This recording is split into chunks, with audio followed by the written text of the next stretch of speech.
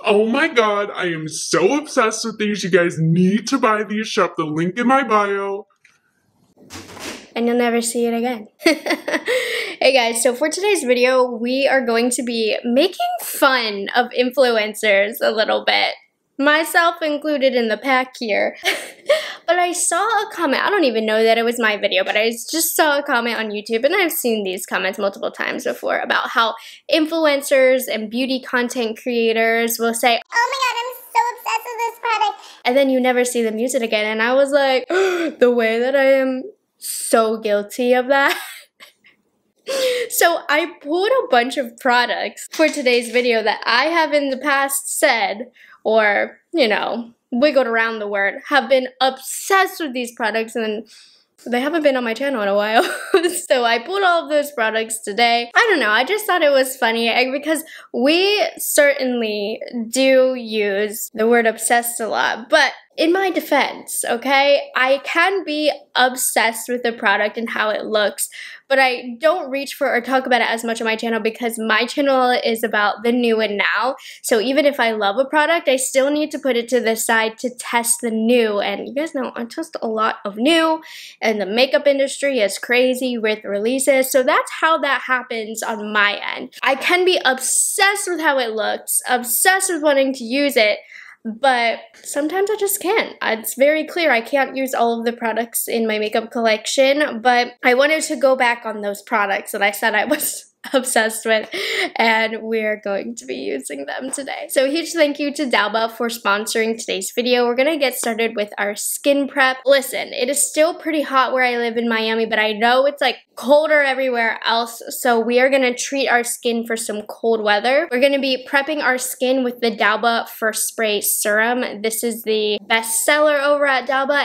and literally there have been over 15 million of these sold, which is insane. The d'Alba First Spray Spray Serum is a multifunctional spray serum infused with Italian white truffle extract, avocado oil, sunflower seed oil, chia seed extract, and more to give a glowy look. And it's also going to enhance the vitality of the skin complexion. This has become a staple in my routine. I have it sitting on my makeup desk because you can use it as skincare, as setting spray, as primer, just any time of the day that you need some hydration and moisture to the skin. So if you look at it in the bottle here, there are two layers. The bottom layer right here is the serum layer. So this has natural antioxidant ingredients and it's gonna help with wrinkles and fine lines and help take care of skin's elasticity. And the ingredients in here, a very high grade Italian white truffle extract extract. And then the top layer here is the oil layer, and this is what's going to give you the glow to your skin, and it's also going to lock in moisture for all day wear,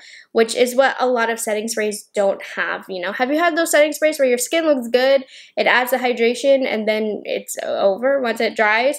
This oil is gonna help lock that in. So to use it, we're gonna shake it up and this is really great for all skin types, especially sensitive skin types as well. That oil layer does help with kind of relieving the skin and calming it down. And I'm gonna use it right now before my makeup prep. So take a look at my skin right now. It's pretty dull, it's the morning, lack of skincare on my face. Let's spray it. Can even put some on the neck. And then we have an instant glow to the skin. I feel like my skin looks really revitalized. You can even blend it in if you want to. You don't have to, but I really want to get that moisture in. And this is also buildable. So if you want more of a glow or a thicker layer of moisture, go for it. I'm putting on a lot because I didn't put on any skincare this morning, so I really want that hydration. This is so great for the winter when our skin is starting to get drier as well. You can put it on at different times of the day, before makeup, after makeup, whenever you want, and it's gonna give that kiss of hydration. And you can see here after that next layer, how beautiful it looks. Honestly, this is so hydrating. I feel like you can use this also on the body as well, just wherever you need quick hits of moisture on a lazy skincare routine day, which is what I was having today. And the ingredients are also gonna help even out your skin tone and brighten the dull skin as well. I don't know if you noticed, but I feel like my skin was looking very dull beforehand, and it definitely looks brighter and more refreshed right now. So this is a new essential product in my beauty routine. I love it for skincare. I love it for before makeup. You guys know I do have drier, more sensitive skin, and this is just the perfect fix for that. So I'll have the links down below to purchase the D'Alba First Spray Serum. So don't be afraid to click on it if you would like to pick this up. Huge thank you again to D'Alba for sponsoring this portion let's get into other products that I am obsessed with. So I feel like I talk about and mention this primer all the time and use it as reference, but then I never actually use it on my channel. So I'm gonna use the Tatcha, the Liquid Silk Canvas. I have said many a times how this is one of my all-time favorite set the bar kind of primer, but I can't tell you the last time that I even like physically used it. So we're gonna use it today. What really stands out to me about this product is how hydrating it feels on the skin, but it does such a phenomenal job with smoothing as well, which is kind of the main component of it. The silk canvas that comes in the pot, I just don't like as much because I felt like that it wasn't as hydrating for some reason. I just didn't get any really results with it, but this one I feel like works out so much easier. It treats my skin so much nicer, and I really do feel like it does smooth the skin and create a great canvas for before makeup. I am still on the fan wagon when it comes to this product, okay? I just haven't used it, but I still really like it, and I compare a lot of primers, especially with the putty primer situation that we have with everybody coming out with their own primer situation. This one is good. It's the bar. Okay, foundation. This one, I was like, holy grail, holy grail, holy grail. I love this foundation when it came out this summer. And then haven't heard about it from me much since. Sorry about that, but we're going to use the Danessa Myricks Yummy Skin Serum Foundation. It is still beautiful. It's a great full coverage foundation. I don't know, I just haven't reached for it as often, but it still is really, really great. It doesn't take that away from this. I'm gonna go ahead and use an IT Cosmetics number 7 brush to spread this out. I think the shade is a little light for me, but it should be okay to blend out. I want to use a sponge mostly to blend this out because it does have that fuller coverage, but I do want to use the brush just to get the major spread around the face. Okay, so we'll start off with that layer. Going to use my sponge to push everything in. You can see we are getting very, very full coverage this product and I feel like I didn't even use that much. So this is still a really nice full coverage foundation and I haven't picked it up in a while, but I am really liking how it is making my skin look. I'm pretty hit or miss when it comes to Danessa Myricks. I really don't like a lot of her products, honestly, but this is one and the Yummy Skin Primer that is just so stinking nice. So that's where we're at with this foundation. It still is a really nice full coverage foundation foundation from Sephora. Okay, eyebrows was a difficult one for me because when I love a brow product, I won't stop using it. But I have gone through multiple stages where I've talked about the Em Cosmetics brow products and I haven't picked them up in a while. So I thought I'd bring these guys back. So we have the fine liner brow pencils as well as the, can't find the name, but the brow gel. Going to use the shade Deep Taupe in the pencil. And what I like about these so much is how thin they are. Do you see that? It's just so tiny. Exactly what I like in a brow pencil. So I'm gonna start off by defining the lower part of the brow down here. Then I'm gonna brush my brows down and I'm going to define the arch here. Yeah, see this is the perfect brow pencil. If you ask me, it doesn't deposit too much color. It doesn't overblend. It gives you just enough. You can draw hair-like strokes. It still is that girl when it comes to brow pencils. Really, really nice. Still feeling these. And then let's go ahead and use the brow gel now. Now what I really liked about the brow gel is how small the spoolie is. So I feel like it really does allow me to brush the hairs in the direction that I like. Now, I've been into a little bit more intense brow gels, so this is my official statement. I'm not obsessed with this anymore. I'm retracting the title. I am into a little bit more heavy duty ones that can give my brow a little bit more direction because you can see this one is a little weak. I can't get as fluffy of a look as I can with other products that I have in my collection. So I'm officially unobsessed with this brow gel, but it's still nice. just not to my taste quite as much anymore. Now, one thing that I do always talk about the importance of is priming the eyelids. I have said multiple times that an eye primer is better than just concealer, especially with those of you who have oily eyelids. I always recommend Urban Decay Primer Potion. I am also always too lazy to actually go into my makeup collection and reach for this, so I am constantly using concealer. So for today, we're going to use this product, which I have been using for probably 12, 13 years now, and I've definitely used the word obsessed for this, especially back in the day, so we're gonna use this. And this is a sample size because I feel like I get them all the time in my orders from Sephora. So I never actually buy this anymore. I just get the samples. Okay, I'm gonna do one eye off camera and we'll be back to do the eye look together because I want it to be cute. I'm filming another video after this. Okay guys, for the eyeshadows. This was a no-brainer for me to pick these because I am obsessed with these, but I never ever ever use them in my videos. So we're using my Indie Single Shadows. I love these. I do swatch and sips on these, and then you never hear about them again from me. So we're gonna use them because they are that great. So all of the mattes that I use today are from my Sydney Grace Z palette. I pulled out the shades that I'm using, so that's what all those spaces are in for, but ugh, literally drooling looking at these Sydney Grace shadows, and I'm not even gonna lie to you, like I don't use them off camera either. I'm always so focused on palettes since I do so many palette videos that the singles just don't get some love. So we're gonna uh, give them some love today. So I'm starting off. This is Sydney Grace Electric Lime. Now I don't know if these shades are discontinued or anything. I'm sure they are. A few of these shades are quite old. So if you can't get the shades anymore, I'm sorry. But my message to you is Sydney Grace and Moons. And a few other brands have amazing single shadows that are so nice. And I know a lot of you love your single shadows but I don't reach for them as much. I'm more of a palette person. I like it pre-curated for me. But dang even the Sydney Grace mattes are just so, so good. And then I'm kind of neutralizing it because that was an electric lime color. So I'm using Backwoods next. You can see it has a little bit of pukiness to it. I'm using a Rephr number one brush. And I just used a Rephr 27 brush before this. So I'm patting this in the outer corner. Then we're gonna blend it out a little bit. Do you see how that just kind of took it down a little bit? It's not so electric lime anymore. And these are great mattes because they're not overly pigmented. You can build them, but they blend very easily. And then we're gonna build up the depth even more. I'm going into Wildlife next, which is a little deeper. And I'm putting all the depth out here in the outer corner. This brush is great for patting the color down and then working it out.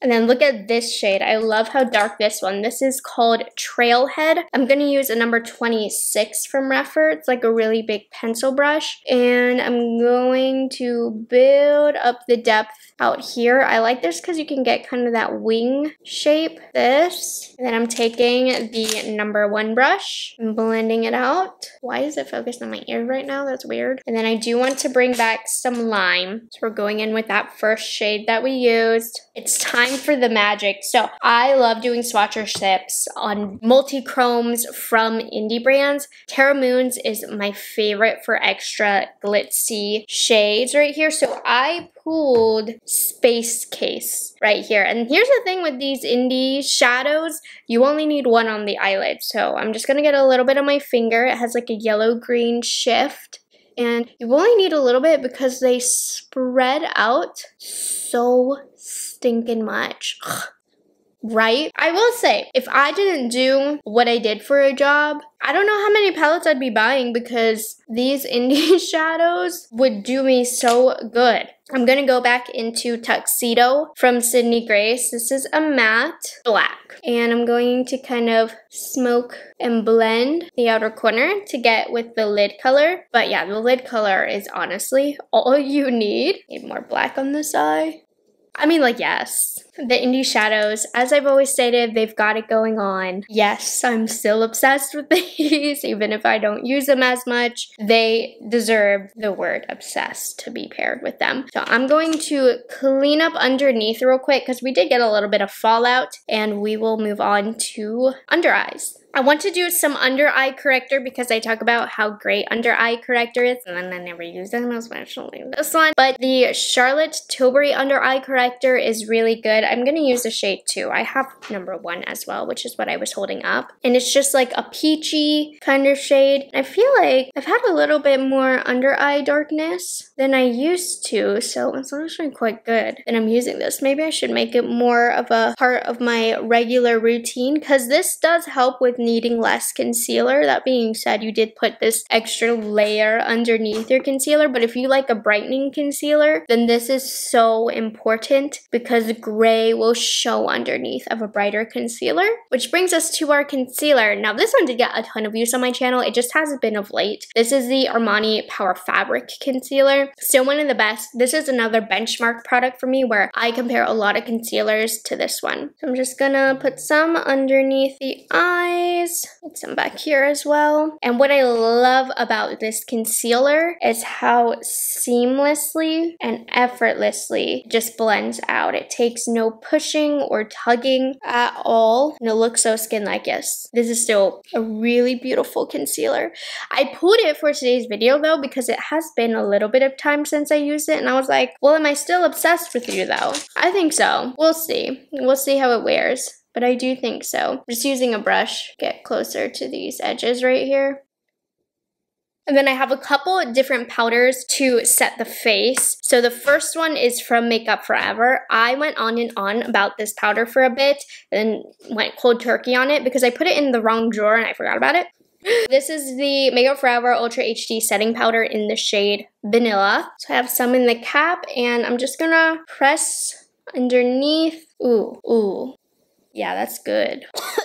I just swallowed some powder. That was not very good. And then I did have another powder that I wanted to talk about. This one is from Nabla. It is so good. There just hasn't been a video idea where this has fit in, but I've been wanting to use it. This is the Close Up Smoothing Pressed Powder, one of the most underrated products. I'm telling you.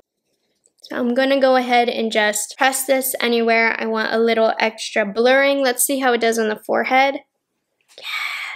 Just so good, you guys. What a beautiful blurring powder. I'm staying away from powder on the outskirts of my face because I'm about to use a cream bronzer. One that was super hyped up when it launched. I couldn't stop talking about it. And then, yeah, here they are now. this is the Charlotte Tilbury Beautiful Skin Sun-Kissed Glow Bronzer. I have a couple of shades, but I think I'm just gonna use this one right here, the Fair Pale. No, I'm kidding. We're gonna use the medium. I've changed my mind. This Morphe brush is gonna be really good to apply it. So I'm just gonna press it underneath.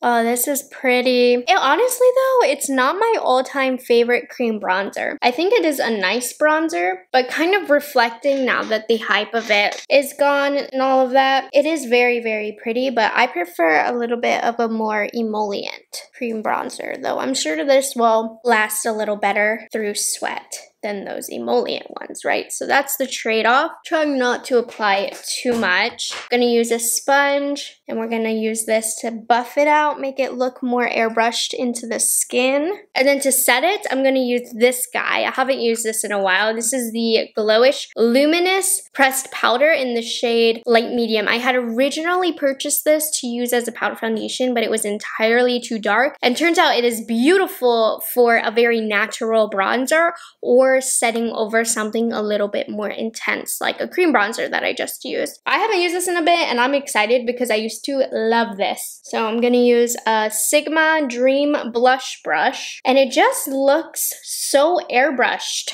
on top of the cream bronzer. It softens everything. It's so Oh my gosh. And it has a very pretty luminosity to it as well. Stunning! Okay, before I get to face color, like blush and stuff, let's finish up the lower lash line. So we have to start off with Electric Lime, the lower lash line.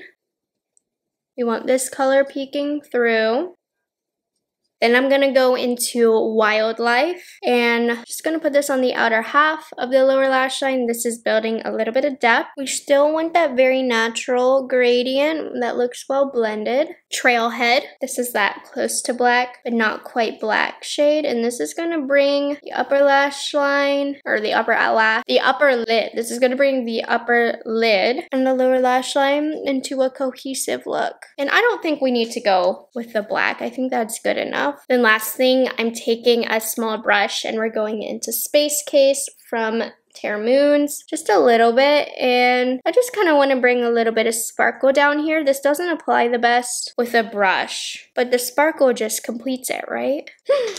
Fabulous! So fabulous! Now back to blush. I always feel like the Em Cosmetics Heaven Glow blushes have always been something that have gotten a lot of praise from me, but I haven't used them as much on camera. I actually do use these a lot off camera because they're perfect for every day. So that's kind of where the obsession with these come from. It's from off camera action. So this is the shade from Em Cosmetics in the Heaven Glow formula Faded Clementine. I'm using a Sigma Dream Contour. I really like this because you won't get a heavy wash of blush blush with this because there's not a lot of density to it. It gives such a pretty glow. Do you see that? So good. Yeah, this blush is beautiful. A little bit on the nose. And then for highlights, I remember talking up the Persona Cali Glow highlighter a lot. So I will pull this out because honestly, I feel like this has lost this title of obsessed because I talked about how much I thought it was beautiful and then that was it. So let's use this.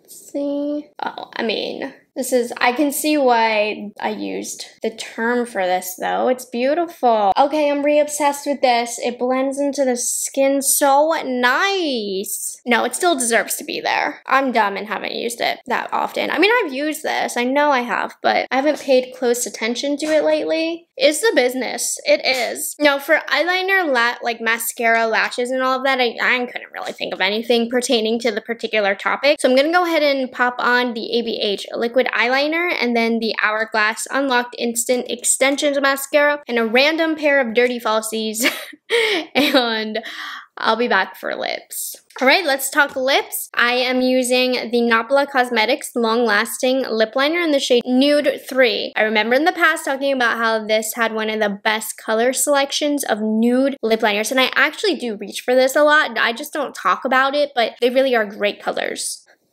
Oh, so creamy. Amazing, super easy to apply. And then lipstick, I've always talked about loving the Patrick Ta Oshii single lipstick, just his lipstick formula in general. Again, another formula where I feel like I don't talk specifically about the formula a lot, but I use it a lot on this side. Like I just grab for it. Pop this baby on. I wish it was a tad more hydrating, but it's still really beautiful.